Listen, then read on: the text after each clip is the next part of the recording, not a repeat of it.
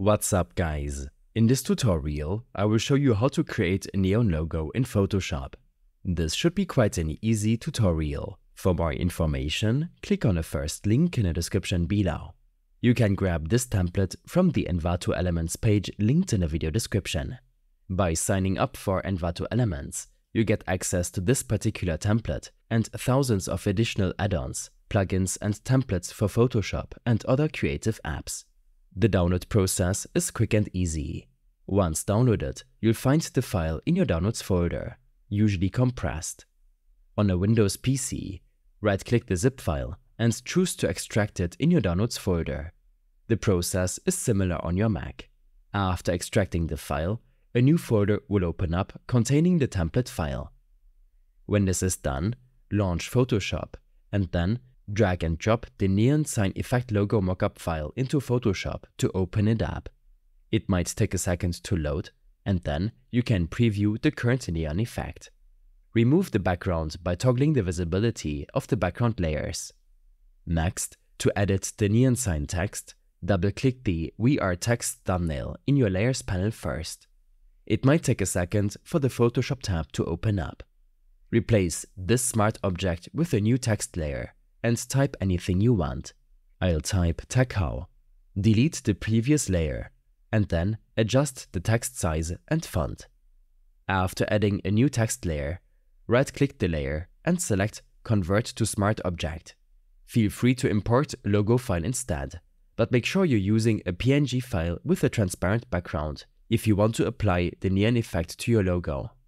When using the Ctrl and S shortcut on PC, or Command and S on Mac, you save these layers and the changes will be automatically applied to your original Neon Effect Photoshop project. Head back to the previous file to see how the text changed. Double-click the Open Text layer and proceed to create a new text layer again. I'll type tutorials and save my changes to this file.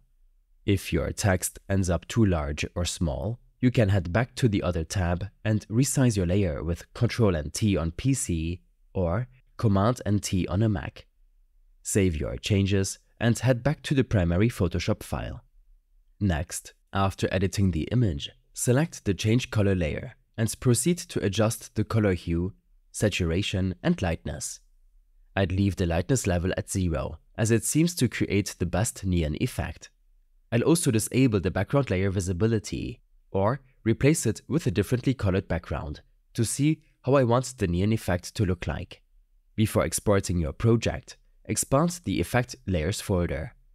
This allows you to disable or change the star shapes, change their colors and size, or replace them with a different asset.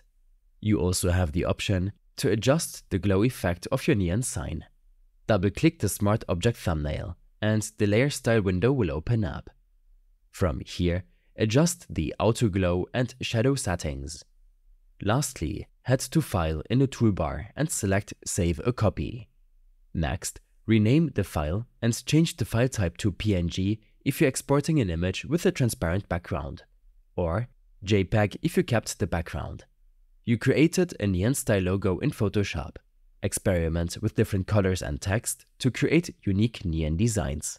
These steps and more information will be available in my extensive guide linked in the description below. I hope this helped you out. Leave a comment if you have any questions and see you in the next one.